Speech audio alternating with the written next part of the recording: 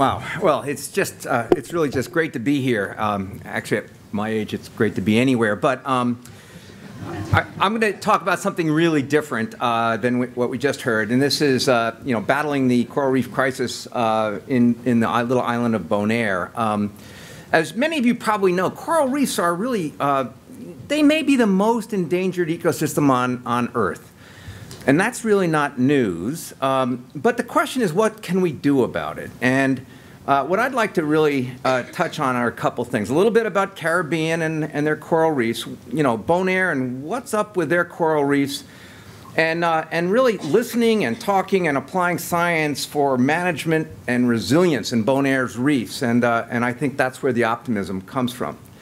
So I, I really want to just start out with sort of the way things were. Um, this is me in St. Croix uh, in 1972, and things were really different uh, then. Um, but what was amazing uh, is coral was everywhere. And uh, while I was working on my dissertation, I watched a, a living coral reef uh, literally die within a decade and flatten. It just, uh, it was amazing. Caribbean reef decline was widespread. coral disease, disease of sea urchins, global warming, ocean acidification. You know, you've heard these stories, so is it time to write the obituary? Well, in fact, an obituary was written uh, by Roger Bradbury, um, and, and he wrote, World's coral reefs have become zombie ecosystems, neither dead nor truly alive in any functional sense, and on a trajectory to collapse within a human generation. He wasn't invited to this meeting. Um, but, the question is really, uh, are, are, all coral reefs dying? Are they on a trajectory of collapse? And uh, that's really what I'd like to get into. I mean, really, zombie ecosystems? Come on. So, so uh, in Jamaica, this is some photographs I took in 1978, and uh, it was a coral-dominated system. This is a, what a coral reef should look like. Within 10 years, this is what it looked like. Um, as a matter of fact, that's the same coral. And the, the coral had actually shifted to become a, a seaweed reef. Um, and I went back 28 years later, and it's still a seaweed reef. It is locked into that state. Uh, and that's not good. Um, so Jeremy Jackson gathered a bunch of people together. We, we uh, looked at coral reefs throughout the Caribbean. He gathered 35,000 reef studies over the last 30 years. And let me summarize this for you.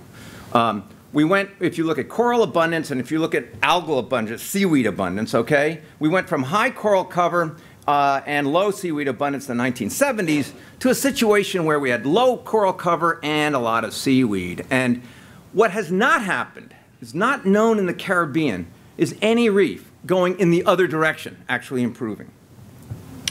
So in a nutshell, what we're looking at are coral reefs that become seaweed reefs. And uh, this is a photograph I took in Antigua relatively recently, Bahamas. There are, or there is at least one exception, and that's in Bonaire. And this is what introduces us to this particular topic. You know, what's going on in Bonaire? It's a little island off the coast of Venezuela. It's pretty tiny, 20 miles long. And, uh, and I've been working there uh, really for a good part of 20 years, working towards solutions, monitoring the health of, of the coral reefs and using science to steer management, uh, and are, that's where the causes of optimism are. So what's different about Bonaire? Um, it has very little seaweed, and you ask the question, why? And one of the things that'll strike you is that there's a lot of parrotfish, and when you look at parrotfish broadly, these guys are the, are the herbivores. These are the deer, the rabbits of this marine system, and they eat the seaweed. So if you go to a place like Jamaica, which is the Geneva standard of a degraded reef, you find very few parrotfish and, uh, and a lot of seaweed. Bonaire is just the opposite. And this is a very interesting problem because this is where the community uh, becomes important. I was talking to a lot of the fishermen in the area, and the fishermen had stories and photographs they wanted to share with me about the way Bonaire used to be. And uh, they showed me these pictures of this huge fish that they had speared. And as a matter of fact, it wasn't just fish. They were spearing everything. Um, and they're so proud of, of, the, of you know, what they were able to shoot and their spear guns that they included them in the photographs. Um, within a decade, uh, really the big fish started to disappear. And in fact, it was the fishing community who agreed in 1971 to stop spearfishing in Bonaire. And that's really amazing. I don't know of any other examples of that. The reason why this really matters is that parrotfish are big, easy targets for, uh, for spearfishing. And, uh, and so they would succumb to that. So as soon as they stopped spearfishing in the 1970s, um, you actually had a pretty good population of these herbivores that could keep the reefs clean.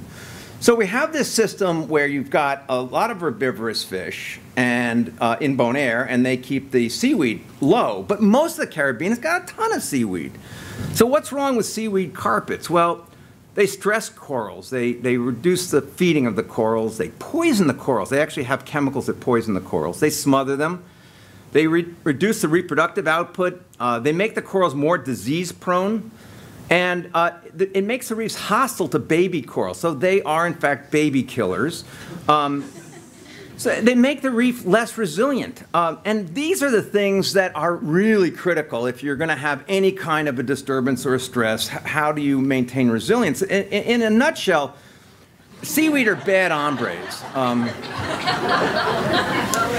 and so uh, thinking about this, uh, I published a paper with a, with a colleague of mine about the ecological feedback loops. And I know you won't be able to read this, but let me just talk you through it. it it's basically thinking about what really matters that make e this ecosystem work. The grazing pressure from parrotfish uh, actually keeps the, the seaweed low in abundance. And because of that, the baby corals can thrive. And as the baby corals grow up, they gobble up space, and that kind of concentrates the herbivores and makes that a little bit stronger. As the coral grows up, it makes a complex reef. The complex reef is actually a good nursery habitat for parrotfish and other fish, and they recruit. And you've got a system that actually, with these kind of positive feedbacks, can maintain itself and it can withstand disturbances and be resilient. When you take out the, the things like the grazers, you actually create this entire negative feedback, and you end up with these reefs, as I showed you, that are collapsed algal-dominated systems that get locked into this alternative unhealthy state. Okay, so can we put ideas, that bit of science uh, about how coral reef ecosystems work into management for the coral reefs? And um, for that, uh, I think it's a, a the, the bigger picture here was working with and learning from the stakeholders, the fishermen and the people who live in Bonaire, working with the managers, many of them are actually part of the community, building a scientific information base that includes their ideas as well as the science that we can bring to this and create a durable network that will help management. So I started making these, uh, these reports every other year with my students. Uh, this is 2003, and we said, gee, the coral cover is high, seaweed abundance is low, herbivory is, is, is high, but, uh, and there's low nutrients, that's all good. But there's relatively few herbivores, and so they asked me to speak to their government, which I did, went to public meetings, uh, made presentations, and we talked to the fishing community about what we can do about the fact that there are really fewer fish out there. And they were very animated about, you know, what was good and what, what they would uh, go along with. The, uh, the, the park ranger actually is from the community, uh, all the rangers are. So the connection between the fishing community, as are fishermen on the left, um, is, a, is a really good one. But what we were hearing is uniformly that the fish are gone. So what are we going to do about that? The big fish were gone. And so the fishing community agreed to create these closed areas, these marine reserves adjacent to the hotels. And it went through, actually, the vote with the fishing community was the easiest thing to get through. It took a lot longer to get it through the, um, uh, the Netherlands government. But in any case, it finally did uh, come to pass. And um, fish protection areas uh, exist. We conducted a number of scientific projects. We had stuff in the newspapers. And so we're trying to apply management uh, science to improve management because these are very complex ecosystems. But if you study them and you can figure out where the pressure points are, what are the few factors that drive the resilience of these ecosystems, then you can kind of work surgically. So we should be monitoring and managing for those key drivers. And okay, so how do you do that? In 2005, uh, the Marine Park asked me to develop a monitoring protocol. And what I suggested was keep it simple, keep it focused on known drivers and indicators of reef health, monitor trends in the drivers of reef health, and uh, this is what we came up with. This is really not rocket science here. Positive trends and negative trends, okay? It's a coral reef, okay? If corals are increasing in abundance, that's good. If they're decreasing in abundance, that's bad. And so seaweed's the same sort of story. You want less seaweed. You want herbivores. You want big parrotfish. You want to have a lot of baby corals. And because the baby corals are going to add to the, the coral cover. Keep it simple. Keep it straightforward. We had really four drivers that we're watching here.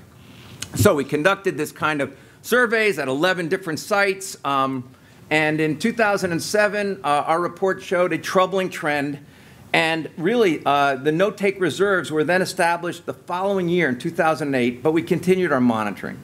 So what we end up seeing is the coral cover from 1999, which actually the very first study, to 2009 was pretty solid and, and steady. That's good. But the seaweed was actually increasing, and it wasn't high by Caribbean standards, but that's a concern. Parrotfish abundance, they started to drop a little bit, and what was going on was trapping was starting to pick up. Now parrotfish, they, they swim with their little pectoral fins, and they, uh, they sleep at night, and they like to sleep in caves. It happens that fish traps are too much like caves. They go into these traps, and they sometimes die in these traps. So uh, baby corals were also declining in abundance. And so our report in 2009 was, we're really seeing a lot of negative factors here. And so we said, this is a, a problem, and you, we suggested that they ban fish traps and they ban parrot fishing. They did that in 2010. They phased out fish traps, banned parrot fishing, and then something uh, very unexpected happened. Um, there was a massive bleaching event, and it was a stress test for this uh, system. Uh, they they uh, suffer bleaching, they throw out their zooxanthellae, and the coral actually showed a significant decline. The seaweed showed a spike upward, and the parrotfish abundance was actually not changing. And so we were seeing this as a really unfortunate situation of negative trends. 2011, we said that we saw that the bleaching had killed the corals, but uh, seaweed was increasing, and it made me think, for all the work we've done, in the words of Groucho Marx, the operation was a success, but the patient died. We still had this durable network, and in 2013 we started seeing evidence. Uh, our, our report said causes for optimism.